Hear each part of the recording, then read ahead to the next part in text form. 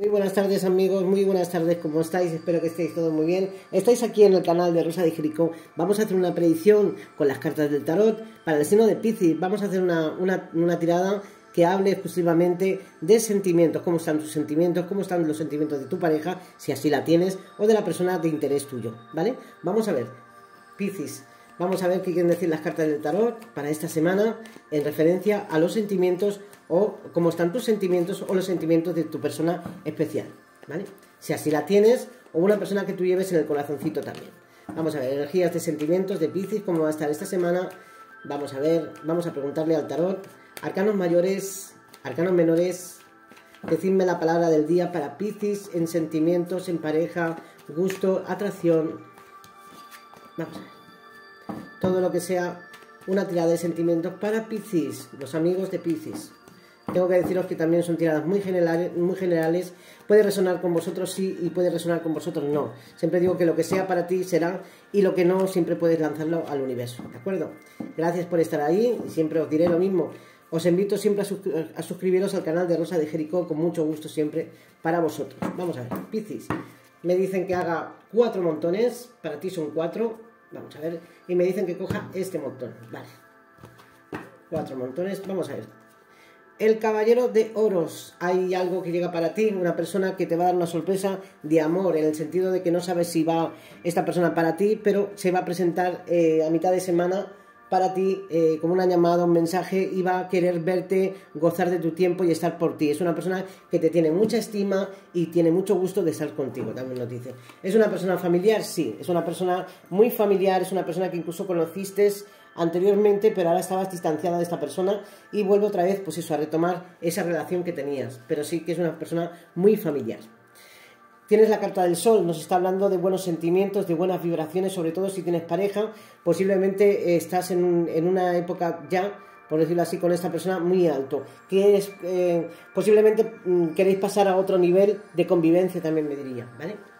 Vamos a ver. Otra carta más para ti, Piscis energía de sentimientos, bueno, tienes el sol y tienes el as de oros. Nos habla de que todo va a llegar muy rápido para algunos. Incluso hay una unión que había, que había muchos problemas, ¿vale? Tanto de comunicación como de distancia, incluso económicas, y todo se va a resolver, se van a venir las cosas de cara.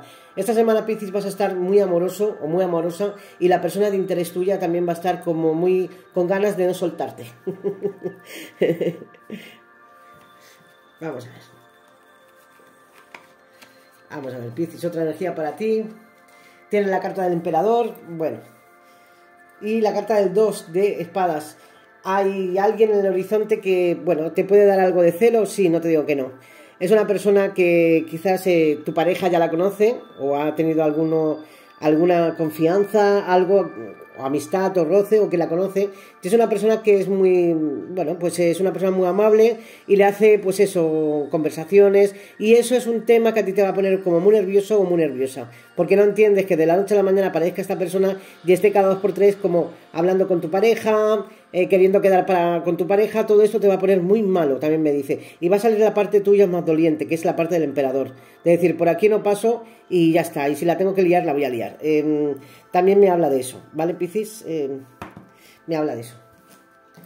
No lo entiendes, no... O sea, no lo entiendes, entonces como no lo entiendes, no lo quieres para ti, te enfureces y no... Y bueno, y es ahí donde vas a tener pues es un choque con tu pareja de discutir, de hablar este tema, porque es una persona pues muy...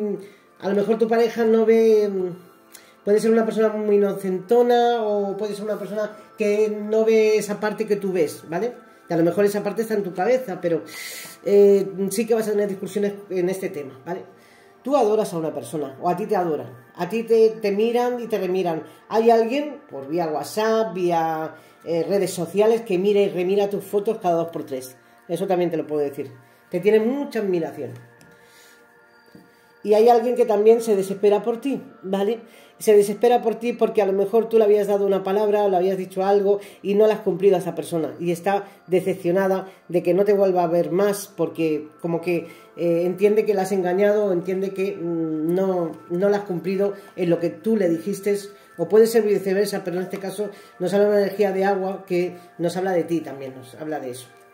Nos habla de eso también, de que es una persona que no te puede tener quizás a lo mejor pues bueno, porque tú eres una persona que vais y vienes, que no quieres tu libertad y no te quieres ver en una relación tan atado o tan atada. Y este sufrimiento lo padece la otra persona porque no entiende esa libertad.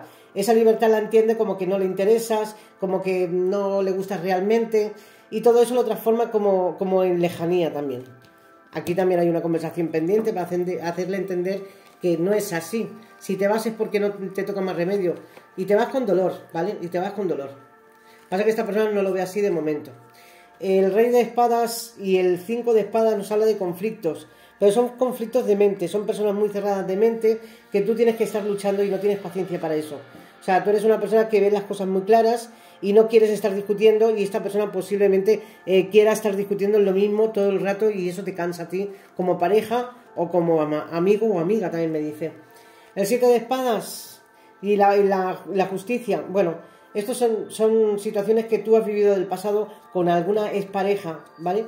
y nos habla de que todo está a bien, o sea, esa persona ya no te va a molestar más. Si pensabas que iba a molestarte por algún no, de momento tú ya sabes lo que pasó con esta persona, esta persona pues no fue o se fue infiel o no fue una, una traición a irse con otra persona y dejarte a ti o a ti en, en un matrimonio mm, roto, una relación rota por tener otra relación eh, dentro de la tuya. Entonces, esto como que la justicia ya te dio la razón y tienes que desconectar de eso, tienes que olvidar el pasado de esa persona y de lo que tiene que ver con esa persona.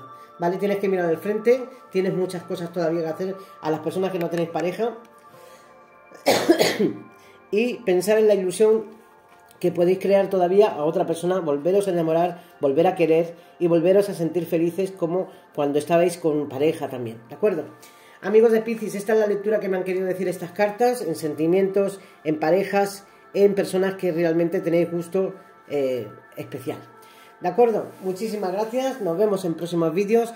Eso sí, siempre os diré lo mismo, suscribiros al canal, dale a la campanita, en fin, lo que queráis. Muchas gracias.